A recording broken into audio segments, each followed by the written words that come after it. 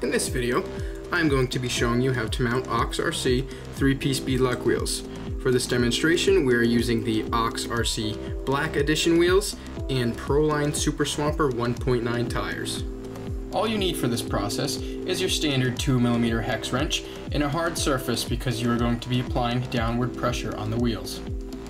Place your wheels face down and remove the 8 screws on the back of the wheel.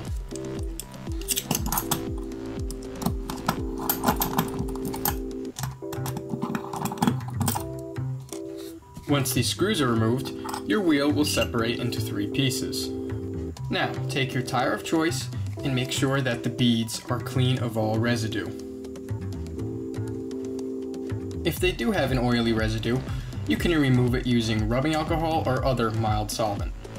Take the center beadlock ring that you removed earlier and insert it into the tire. Be sure that the foam insert is not getting pinched between the tire and the center ring.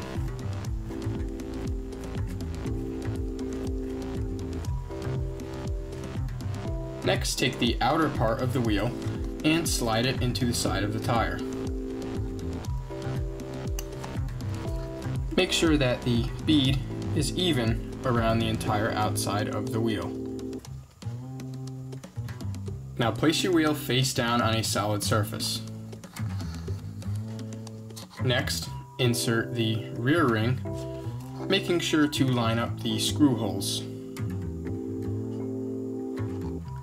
Now take two of the screws that you removed earlier and place them in opposing sides of the wheel. Don't screw them in just yet.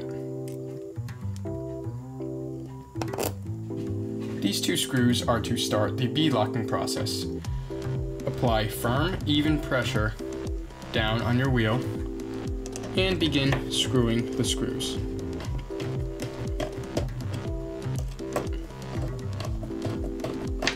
Only screw a few threads in at this point. This is just to hold the rings together, so it is easier to work with. Now, insert the rest of your screws and start to thread them.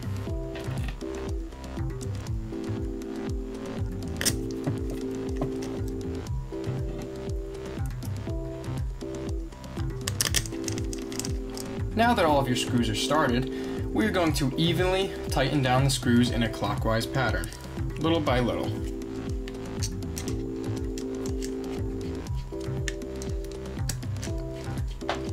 The key here is just a little bit at a time. We want the bead to see evenly all the way around the tire. Once you have worked your way around the wheel a few times, you are now ready for the final tightening. Tighten the screws until snug and be sure that the two halves of the wheel are firmly pressed against each other. This means that your tires are fully seated and the wheels have no air gaps. And there you have it. In just a few minutes, your wheels are mounted and you are ready to hit the trail.